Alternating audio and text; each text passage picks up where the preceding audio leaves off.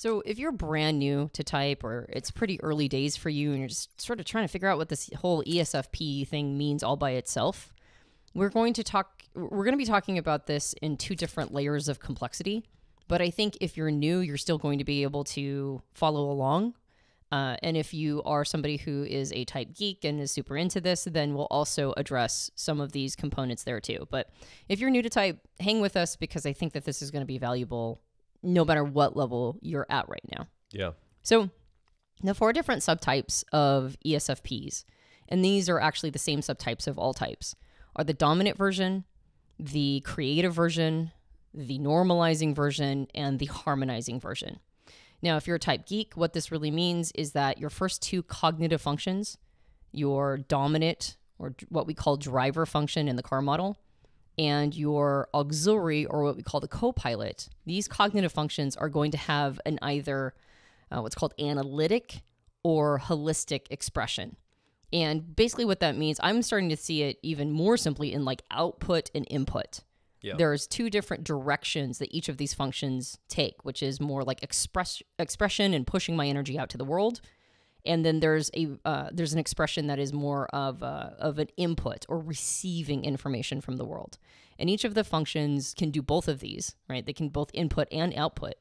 But we have a tendency to like one of those expressions more. We either like the output version or the input version more. Just quickly, somebody could confuse that with introversion or extroversion. So just make sure you land that point clearly. We're not talking about introvert or extrovert here. No, exactly. Input output's different. Exactly. We're we're more talking about using the function to assert our will in the world or to be sensitive to other people's assertion, like kind of receiving information.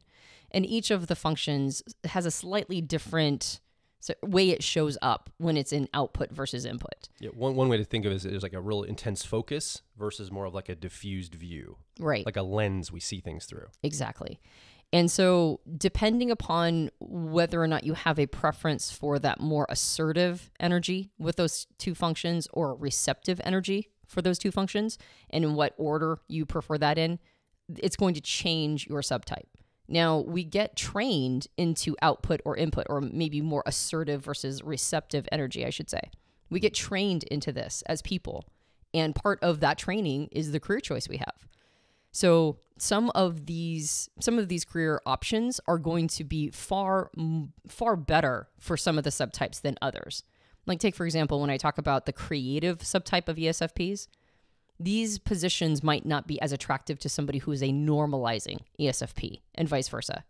If you're a dominant ESFP type, it's not going to be as attractive, you know, the the career options for dominant ESFPs are not going to be as attractive for harmonizing ESFPs and vice versa.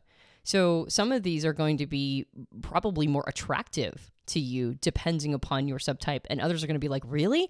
ESFPs would want to do that?" And yeah, probably the ESFP subtype that's very different than your subtype. And if you listen to the full episode with Dr. Nardi about the subtypes, I believe in that episode we go into the neurotransmitters and the chemicals in our brain mm-hmm. also have a play in this too. Right. So it's not just nurture, it's also nature, but might be influenced by nurture.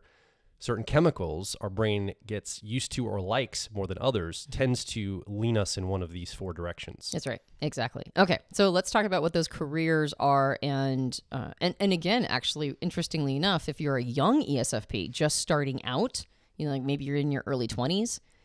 As I mentioned, after 25, your career choice very much influences how your type is going to show up in this way.